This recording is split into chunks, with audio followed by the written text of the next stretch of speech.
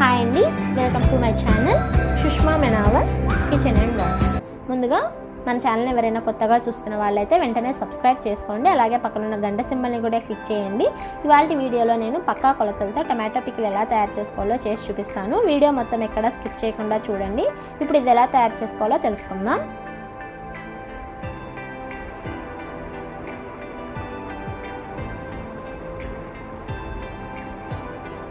నేను ఇక్కడ two kilos టొమాటోస్ని తీసుకున్నాను. ఫస్ట్ ఈ టొమాటోస్ని బాగా వాష్ చేసుకొని ఒక క్లాత్ తీసుకొని బాగా తుడుచుకొని ఆరబెట్టుకోవాలి తడి అనేది ఎక్కడా లేకుండా ఆరబెట్టుకోవాలి తడి ఉండడం వల్ల ఏంటంటే పికల్ అనేది పాడైపోతుంది. నేను ఇక్కడ దూరగా ఉన్న టొమాటోస్ని తీసుకున్నానండి. ఇలాంటివి తీసుకోవడం వల్ల పికిల్ అనేది చాలా టేస్ట్గా ఉంటుంది.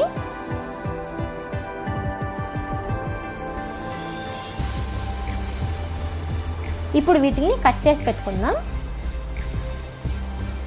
చూసారు కదా నేను ఇక్కడ టమాటోస్ మొత్తాన్ని ఇలా కట్ చేసి పెట్టుకున్నాను. ఇప్పుడు దీన్ని పక్కన పెట్టుకుందాం. ఇప్పుడు స్టవ్ పైన ఒక కడాయి పెట్టుకొని స్టవ్ ఆన్ చేసుకోవాలి.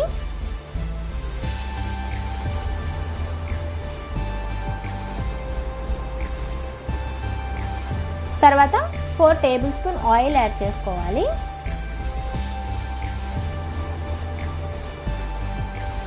ఆయిల్ హీట్ అయ్యాక మనం కట్ చేసి పెట్టుకున్న టమాటో ముక్కల్ని యాడ్ చేసుకోవాలి.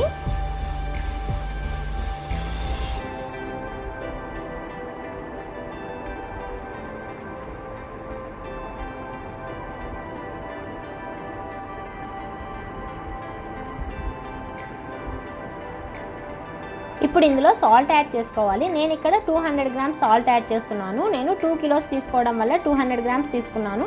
మీరు వన్ కిలో తీసుకునేట్టుగా అయితే హండ్రెడ్ గ్రామ్స్ తీసుకోండి.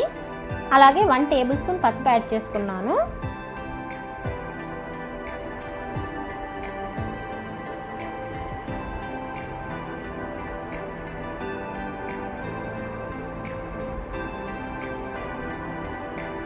ఇప్పుడు మూత పెట్టుకొని దీన్ని బాగా ఉడికించుకోవాలి. తర్వాత మసాలా కోసం ఒక ఫ్రై ప్యాన్ పెట్టుకొని ఇందులో వన్ టేబుల్ స్పూన్ ఆవాలు యాడ్ చేసుకోవాలి.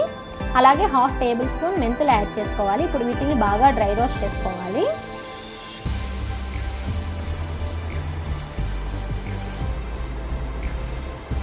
చూసారు కదా? ఇలా ఫ్రై అయ్యాక స్టవ్ ఆఫ్ చేసుకొని దీన్ని బాగా చల్లార్చుకోవాలి.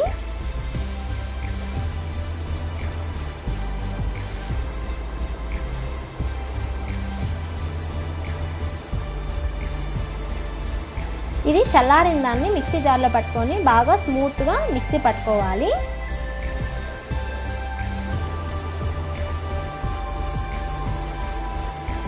తర్వాత చూసారు కదా టమాటోస్ అనేవి బాగా ఉడుకుతున్నాయి. ఇప్పుడు ఇందులో హండ్రెడ్ గ్రామ్స్ చింతపండు యాడ్ చేసుకోవాలి.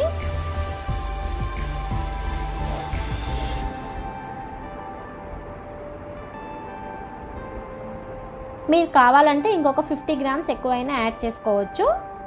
టొమాటోస్ పులుపుని బట్టి చింతపండు అనేది యాడ్ చేసుకోండి. తర్వాత ఈ వాటర్ మొత్తం పోయేంత వరకు బాగా ఉడికించుకోవాలి. టొమాటో అనేది బాగా గుజ్జులాగా తయారవ్వాలి. ఇప్పుడు మూత పెట్టుకొని ఉడికించుకుందాం. చూసారు కదా? టమాటో అండ్ చింతపండు బాగా ఇలా గుజ్జుగా ఉడికిపోయింది. వాటర్ మొత్తం పోయాయి. చూసారు కదా?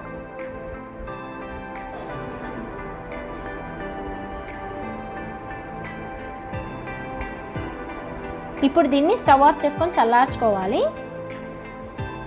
చూసారు కదా ఈ టమాటో అనేది చల్లారిపోయింది. ఇప్పుడు దీన్ని కొద్ది కొద్దిగా మిక్సీ జార్లో తీసుకొని బాగా స్మూత్ పేస్ట్ లాగా వచ్చేలాగా మిక్సీ పట్టుకోవాలి.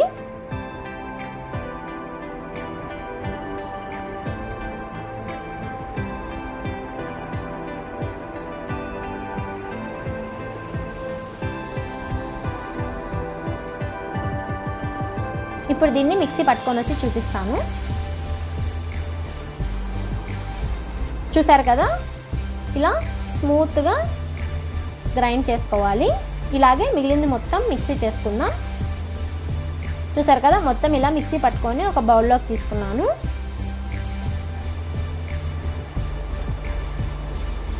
ఇప్పుడు ఇందులో మనం ఆల్రెడీ మిక్సీ పట్టుకున్న ఆవాలు మెంతులు ఉన్నాయి కదా? ఆ పౌడర్ అనేది యాడ్ చేసుకోవాలి.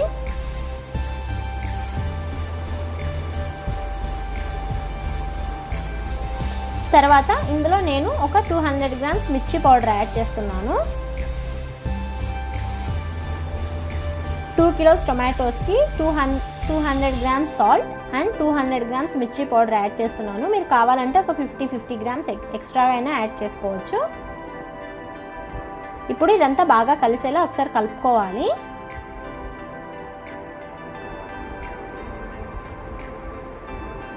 చూసారు కదా? దీన్ని బాగా కలుపుకున్నాను. ఇప్పుడు దీన్ని పక్కన పెట్టుకుందాం. ఇప్పుడు స్టవ్ పైన ఒక కడాయి పెట్టుకొని ఆయిల్ యాడ్ చేసుకోవాలి. ఆయిల్ హీట్ అయ్యాక స్టవ్ ఆఫ్ చేసుకొని ఇందులో ఒక వన్ టేబుల్ స్పూన్ ఆవాలు యాడ్ చేసుకోవాలి. అలాగే వెల్లుల్లి యాడ్ చేసుకోవాలి. ఒక ఫిఫ్టీన్ టు ట్వంటీ వెల్లుల్లి యాడ్ చేసుకోవాలి.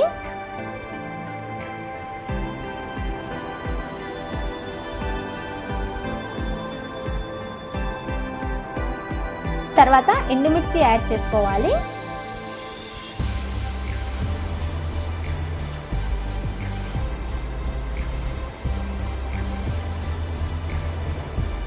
అలాగే కొద్దిగా ఇంగువ యాడ్ చేసుకోవాలి. ఇంగువ యాడ్ చేసుకోవడం వల్ల ఏంటంటే పికిల్ అనేది చాలా టేస్టీగా ఉంటుంది. ఇప్పుడు ఈ ఆయిల్ని బాగా చల్లార్చుకోవాలి. చూసారు కదా ఆయిల్ అనేది బాగా చల్లారిపోయింది. ఇప్పుడు ఇందులో మనం ఆల్రెడీ మిక్స్ చేసి పెట్టుకున్న టమాటోని ఇందులో వేసుకోవాలి ఈ పేస్ట్ మొత్తాన్ని. ఆల్రెడీ ఈ టమాటోలో మసాలాలన్నీ మనం బాగా కలిపి పెట్టుకున్నాం కదా. ఇప్పుడు ఇదంతా బాగా కలిసేలా కలుపుకోవాలి.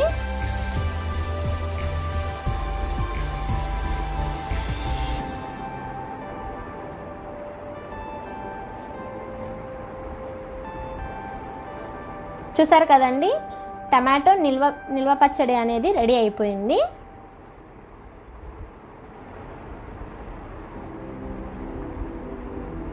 ఇప్పుడు దీన్ని ఒక జార్లోకి తీసుకొని దీన్ని ఎక్కువ రోజుల పాటు నిలువ ఉంచుకోవచ్చు.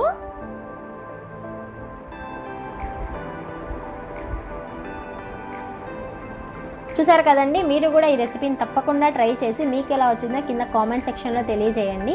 ఈ రెసిపీ కనుక మీకు నచ్చినట్లయితే లైక్ చేయండి షేర్ చేయండి సబ్స్క్రైబ్ చేయడం మర్చిపోకండి. అలాగే పక్కన ఉన్న గంట సింబల్ని కూడా క్లిక్ చేయండి. Thank you